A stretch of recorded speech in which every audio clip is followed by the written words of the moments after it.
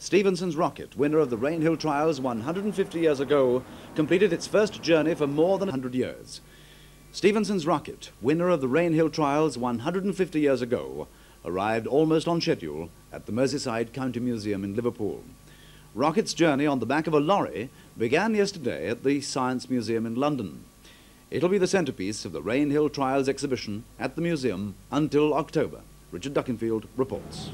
Rocket arrived encased in a protective tent on the back of a 16-ton flatbed lorry.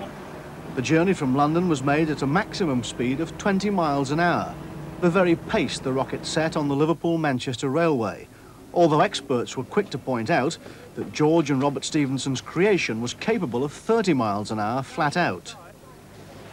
It pioneered the world's first passenger railway and was the cause of the railway's first fatality, when the MP William Huskisson stepped carelessly onto the track. Rocket has been in the Science Museum since 1862, after spending its last working days as a colliery loco. For the journey, it was insured for £50,000, quite a sum for what one onlooker described as three tons of scrap iron and four brass plates.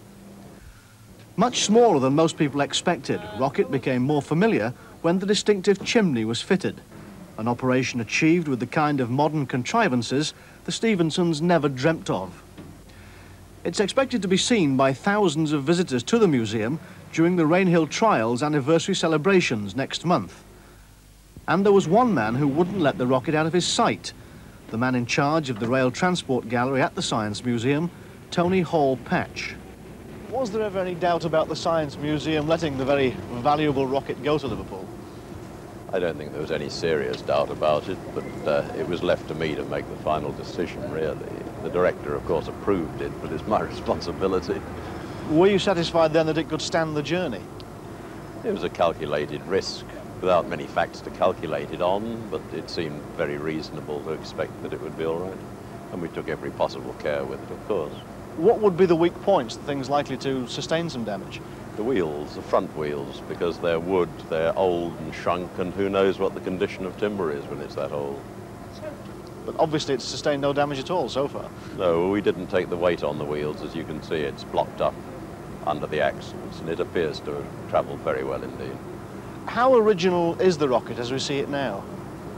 It's very difficult to be absolutely certain, but it is what we do know is what is not original, and that is the smoke box in the front and the buffer plank, which is certainly not original, but it is probable that the rest of it, other than the rear wheels, is original.